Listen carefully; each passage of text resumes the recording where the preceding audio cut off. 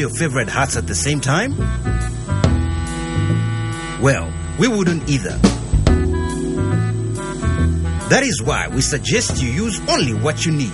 Switch off all electrical appliances and lights in our newsrooms. Remember, use only what you need and save power today. Switch and save. Zesco, powering the nation.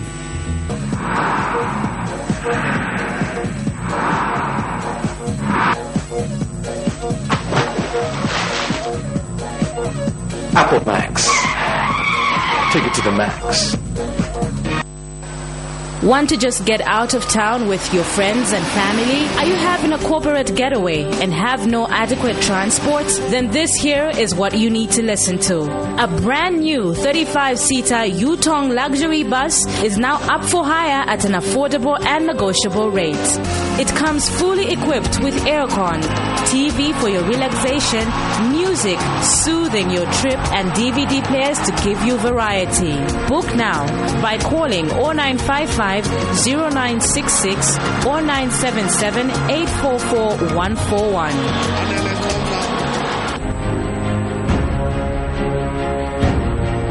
What makes the new Yo-Yo Chipsy so unique? 100% natural ingredients. Nothing artificial. Just a pure experience of freshness.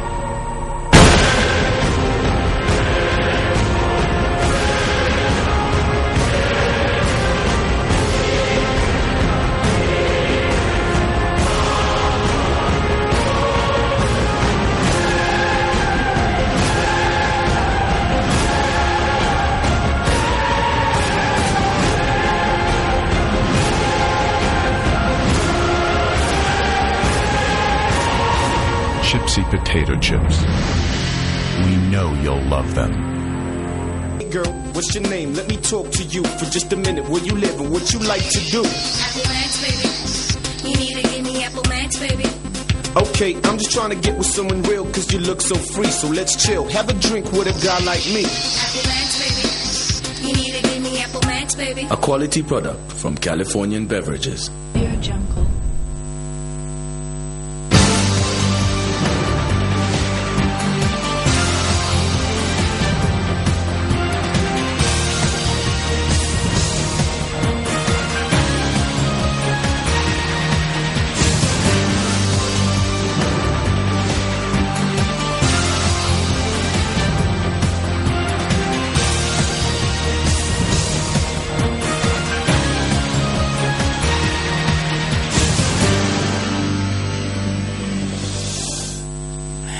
A warm welcome to Prime TV's main news. Uh, to present it, uh, my name is uh, Daniel Tonga. We take a look at what is making the headlines.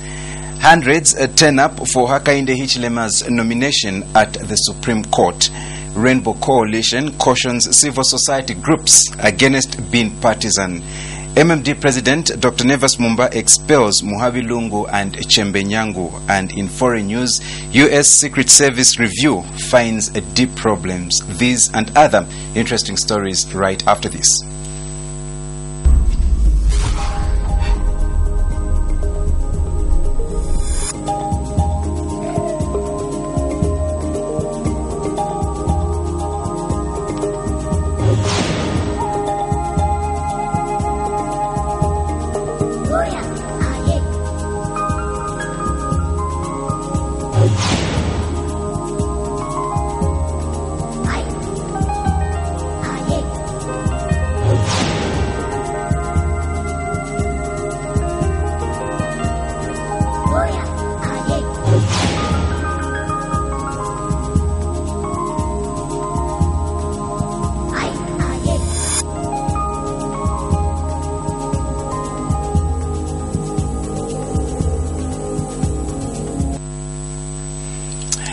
And now the news in detail. Hundreds of people flocked to Supreme Court grounds in Lusaka to show their support for UPND leader Hakainde Hichilema as he went to file his nomination. The supporters started flocking to the Supreme Court grounds as early as 10 hours ahead of Hakainde Hichilema's time to file in his nomination at 15 hours. And UPND leader Hakainde Hichilema has successfully filed in his nomination at the Supreme Court in Lusaka. Speaking after he filed in his nomination, Mr. Hichilema assured the masses of a better economy once elected. Meanwhile, following the huge numbers that turned up, journalists had a tough time to find a right spot to get good shots. Prime TV cameraman Mianda Kembe had to be lifted up by UPND supporters for 30 minutes to enable him find a spot to get a shot of Mr. Hichilema.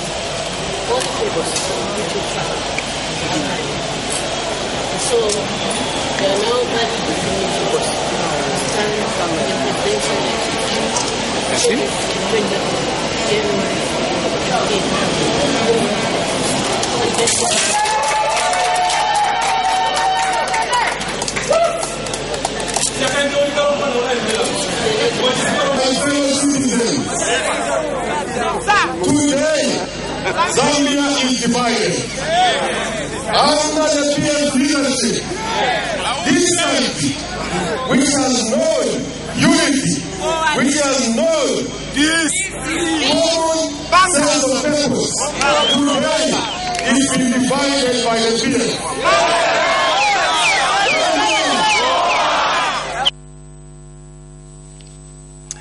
Now, all the MMD members of parliament who were supporting embattled former President Rupia Banda have thrown their weight towards the UPND and its leader, Hakainde Hichilema.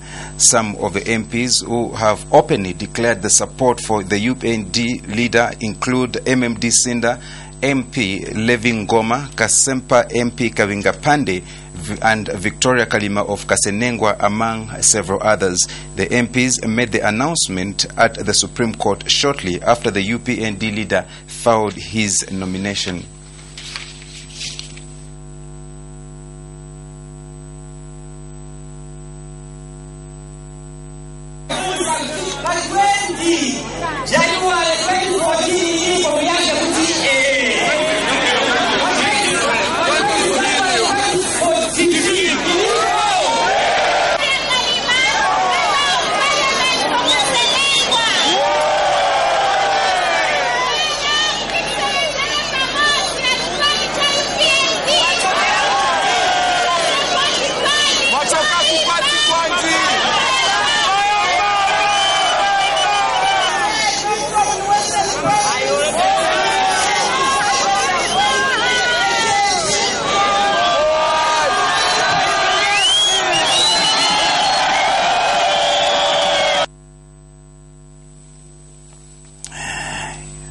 United National Independence Party President Tilyenji Kaunda has successively filed in his nomination at the Supreme Court. Speaking after filing in his nomination, UNIP President Tilyenji Kaunda says time has come to stop a culture of pangas in the country. Mr. Kaunda says politics of violence has no place in the country, hence the need to vote for a party that believes in peace. He adds that once UNIP is elected into office, he will ensure that a constitution is delivered. Mr. Kaunda says his party will also ensure that jobs are provided to all the youths in the country. He adds that previous governments have failed to improve the country's economy, hence the need to bring in a new government. Meanwhile, a fourth revolution president Eric Chanda has also successfully filed in his nomination. Zambia Union of Nurses Organization ZUNO has welcomed government's decision to reinstate all the fired nurses, midwives and other health workers. ZUNO President Tom Yungana says his organization was elated by the development because it is a timely Christmas present to the health sector.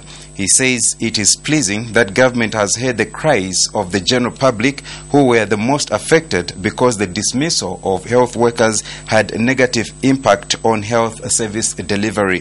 Mr. Yungana said this in a statement made available to Prime TV in Lusaka. He has appealed to government to be sensitive and proactive towards workers' plight, especially regarding salaries and conditions of service.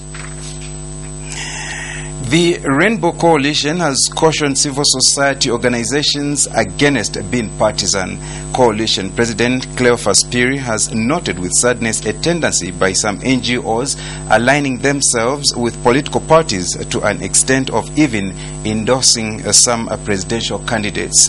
He says such behavior uh, should not be condoned as it puts the civil society in a very compromising situation, adding that the civil society needs to be a guide to government and not a player of political issues.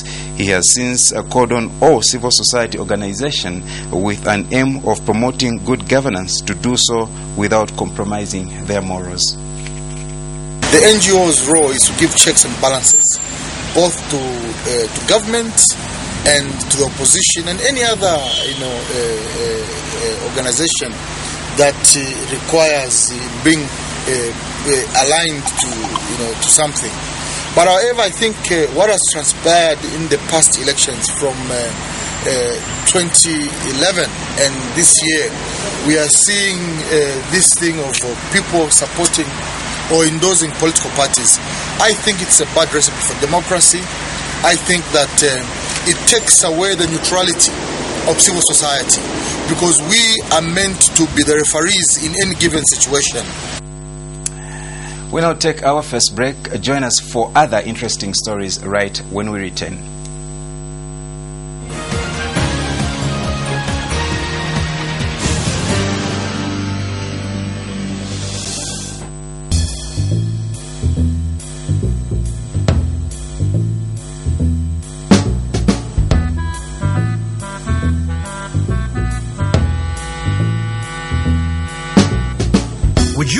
Your favorite hats at the same time? Well, we wouldn't either. That is why we suggest you use only what you need. Switch off all electrical appliances and lights in unused rooms. Remember, use only what you need and save power today. Switch and save. Zesco, powering the nation. What's your name? Let me talk to you for just a minute. Where you live and what you like to do? Apple Max, baby. You need to give me Apple Max, baby. Okay, I'm just trying to get with someone real cause you look so free. So let's chill. Have a drink with a guy like me. Apple Max, baby. You need to give me Apple Max, baby. A quality product from Californian Beverages.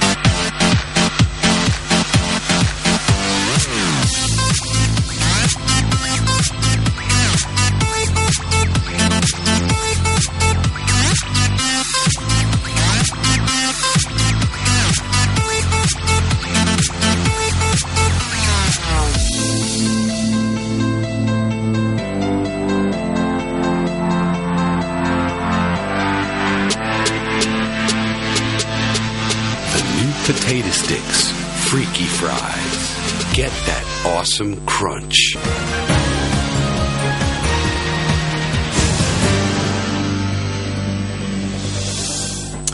Welcome back.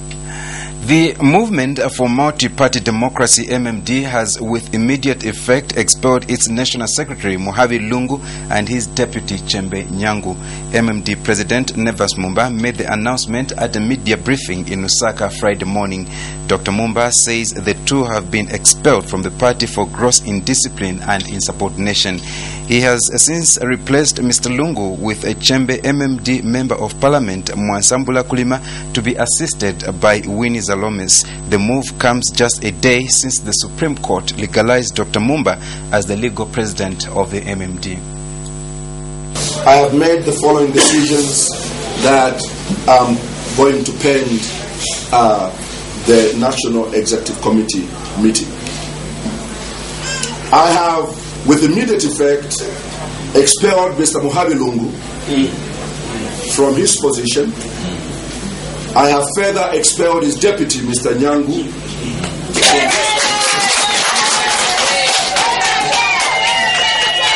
with immediate effect for not only insubordination but gross indiscipline. Meanwhile, uh, Dr. Mumba has laughed at the last minute maneuvers by the PF to canvass for votes through the reinstatement of fired nurses.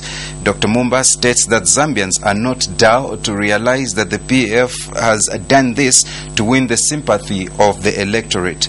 He says Zambians will not be woodwinked in voting for the PF following what they have been subjected to by the PF in the last three years. On Thursday, government through the minister through the Minister of Health, Dr. Joseph Kasonde, announced that it had reinstated all the fired nurses who were dismissed in December 2013 by President uh, uh, Michael Sata, the late. Unfortunate that the Patriotic Front had to wait until the election before they can uh, say they have restored the nurses. It's not even true that they've restored all nurses. Some of the nurses are in London now, some of them are in Botswana working in different countries. So I don't know what they mean by they have restored all of them. Um, they have injured the, the health institutions, and no Zambian should um, uh, give it any ear. It's a fluke and there's no need for us to give it any attention. It will need a new president, uh, in this case, myself and the team that will come in to correct the many wrongs that have been committed by the Patriotic Front. So this is just window dressing, bandaging a wound that does not need a bandage, it needs amputation. And I think that um, uh, time to amputate the PF has come so that we can move forward and make sure that we reinstate sanity in governance. Uh, people living with disabilities have urged parents with physically challenged children uh, to ensure that their children are given a chance to get educated. Persons with disabilities spokesperson Elijah Ngwale uh, says children with disabilities need to be given equal rights like anyone else. Professor Ngwale says most times blind children are denied access to education by their parents, adding that there is need for parents to change their mindset. He adds that the Ministry of Education has provided facilities for children that are disabled, and parents need to take the opportunity and ensure that their children are given a better life.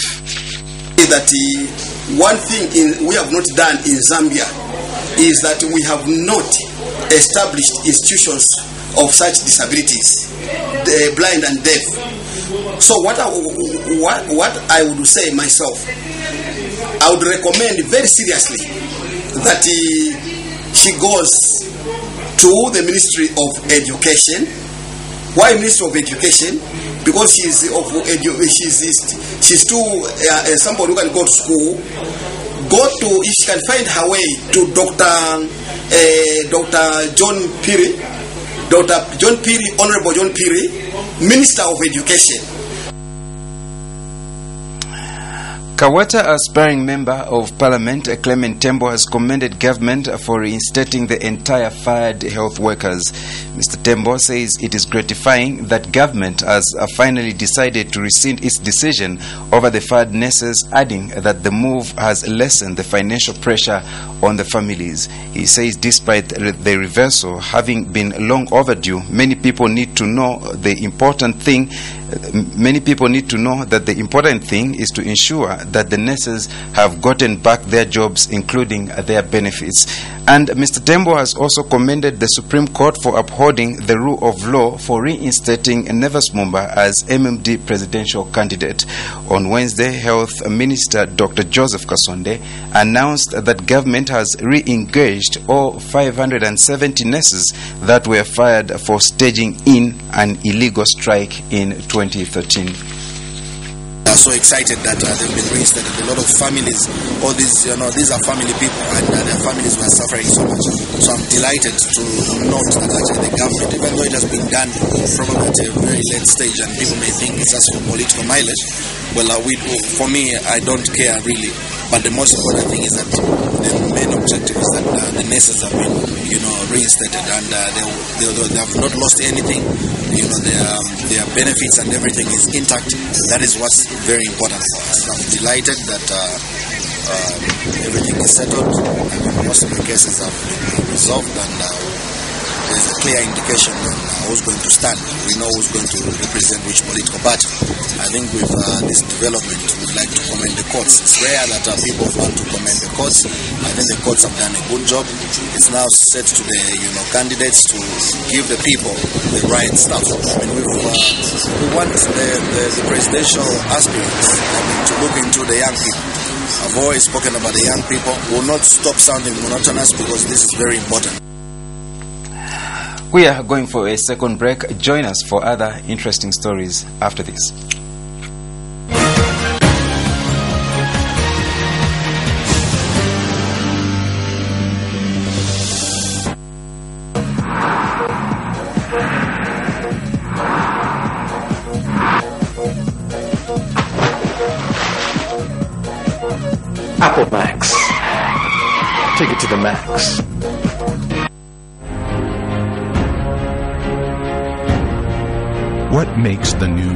Yo-Yo Chipsy so unique?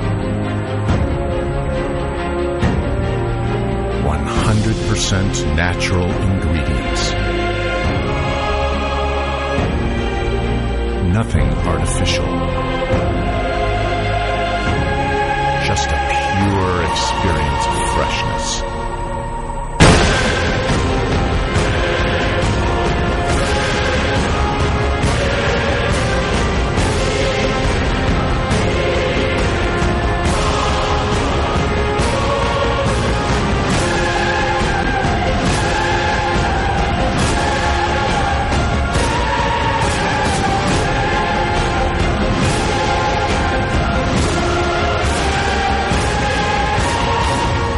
Potato chips.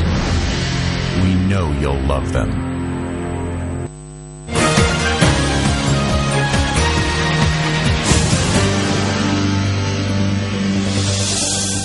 Welcome back now in foreign news. Kenyan uh, President Uhuru Kenyatta signed in a contested anti-terror bill and has blasted parliamentarians for their conduct a day prior. The new law passed on Thursday was passed amid chaotic scenes in Parliament and a brawl between opposition and government MPs. The law gives authority sweeping powers to crack down on terror suspects and curtail press freedoms. The law has, however, also come under criticism by human rights groups and nine Western countries for its alleged infringement of democratic freedoms. But President Uhuru Kenyatta on Friday appealed to the Kenyans to read the legislation. The United States, Britain, Germany, and France warned of the law's impact on Wednesday in a rare collective statement. The U.S. Secret Service is an insular against agency that needs a new director hired from outside to improve training, according to former government officials who examined the embattled agency after a man with a knife stormed the White House. An executive summary of a highly classified review revealed deep problems at the top of the Secret Service, which is charged with guarding the U.S. president and other senior government officials. Homeland Security Secretary Jeh Johnson said in a statement that the recommendations are astute, though and fair. Johnson appointed a four-member in independent panel in October after a, after a September 19th intrusion by, it, by an Iraq War veteran who scaled the White House fence, springed across the lawn, and got deep inside the, mans- the mansion before an off-duty agent stopped him. We did monitor Al Jazeera on these and other interesting stories.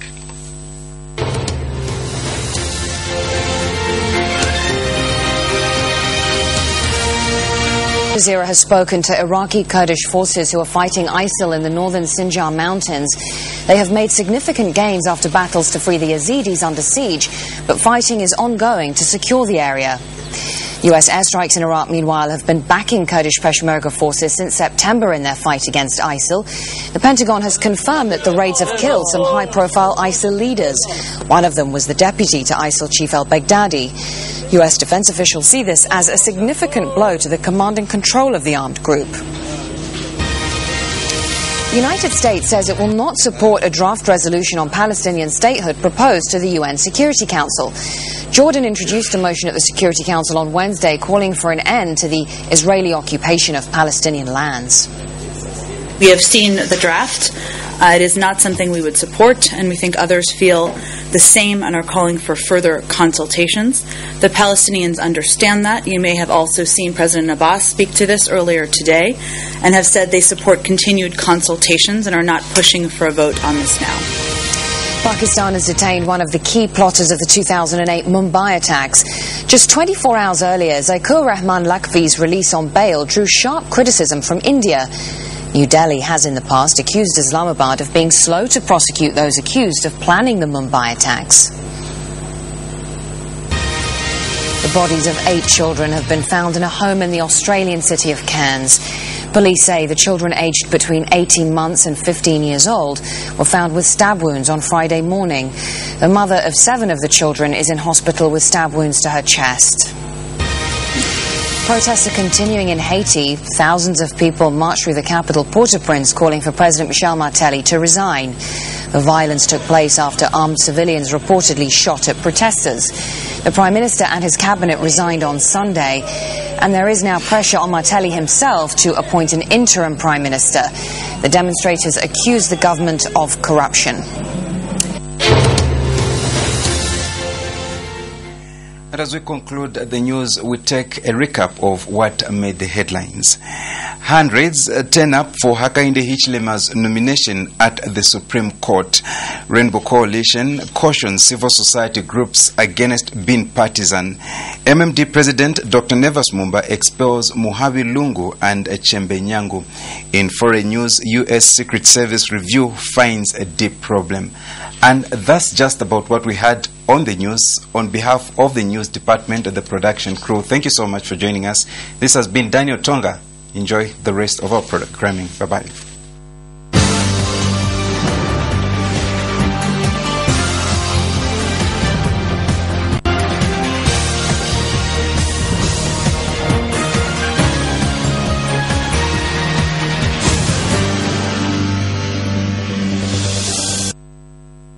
Hey girl, what's your name? Let me talk to you for just a minute. Where you live and what you like to do? Apple Max, baby. You need to give me Apple Max, baby. Okay, I'm just trying to get with someone real cause you look so free. So let's chill. Have a drink with a guy like me. Apple Max, baby. You need to give me Apple Max, baby. A quality product from Californian Beverages.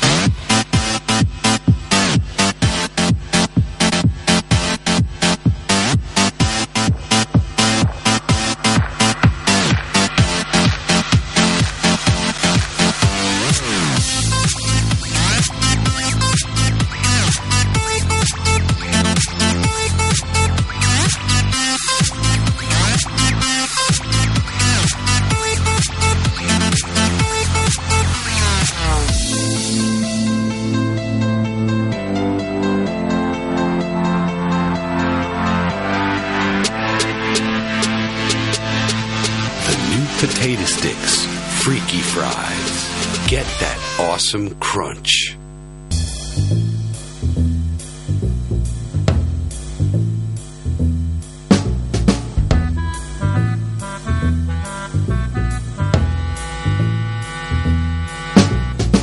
Would you wear all your favorite hats at the same time? Well, we wouldn't either. That is why we suggest you use only what you need. Switch off all electrical appliances and lights in unused rooms. Remember, use only what you need and save power today. Switch and save. Zesco, powering the nation.